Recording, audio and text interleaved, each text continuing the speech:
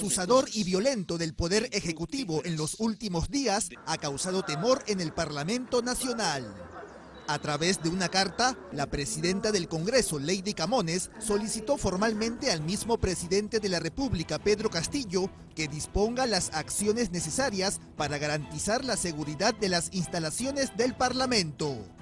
Además, en el documento, Camones cuestiona las declaraciones del presidente del Consejo de Ministros, Aníbal Torres, y del propio jefe de Estado por convocar marchas en la capital. Sin embargo, por ahora no se ha tomado ninguna medida específica ante este pedido.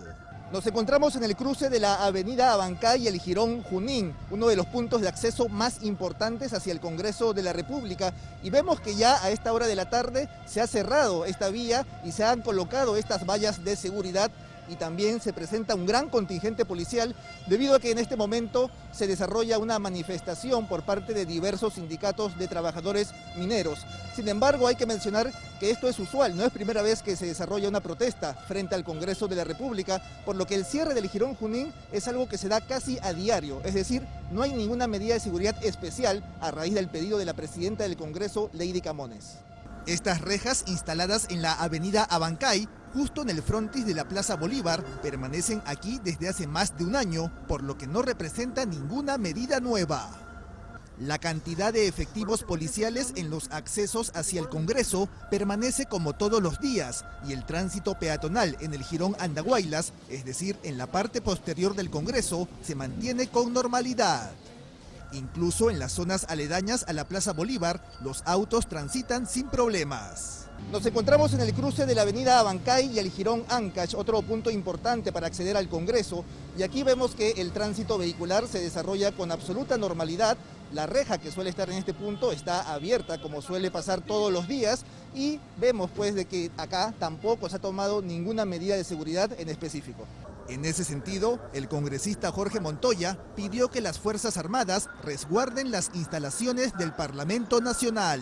Yo no le puedo pedir al que me va a atacar que me defienda, o sea, este, así de simple. O sea, el, Congreso, de acuerdo a la Constitución, la Presidenta del Congreso puede pedirle directamente al Comando Conjunto que le envíe fuerzas para la defensa interior del Congreso.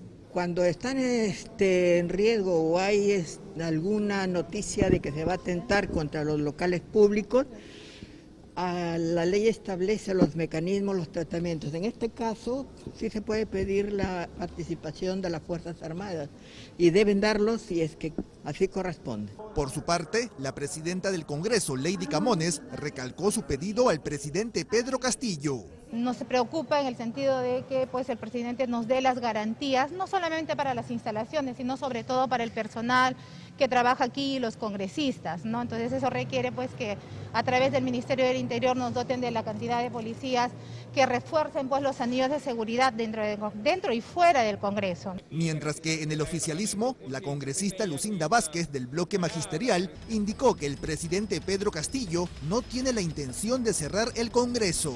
Eh, yo creo que el Parlamento no está en riesgo con el maestro Pedro.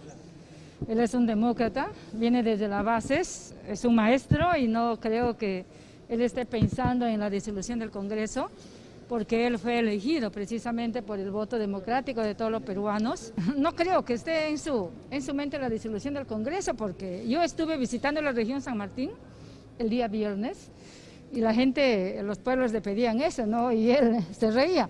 Por ahora, no hay ningún pronunciamiento oficial por parte del Ejecutivo respecto a la solicitud de la presidenta del Congreso para garantizar la seguridad del Parlamento.